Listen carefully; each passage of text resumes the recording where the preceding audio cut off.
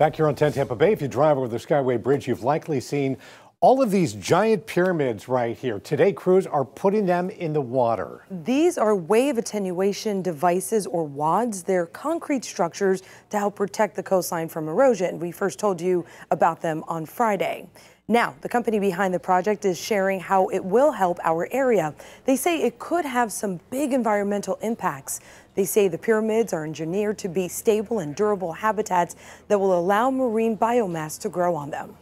Over time, that will create natural barrier reef systems. The shape will also help prevent strong waves from crashing onto the busy road, which will keep you safe during a storm.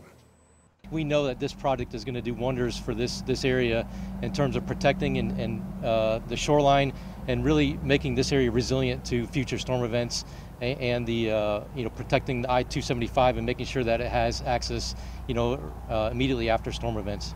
And you will see crews out there for the next two or three months because they are putting 844 of these pyramids in the water.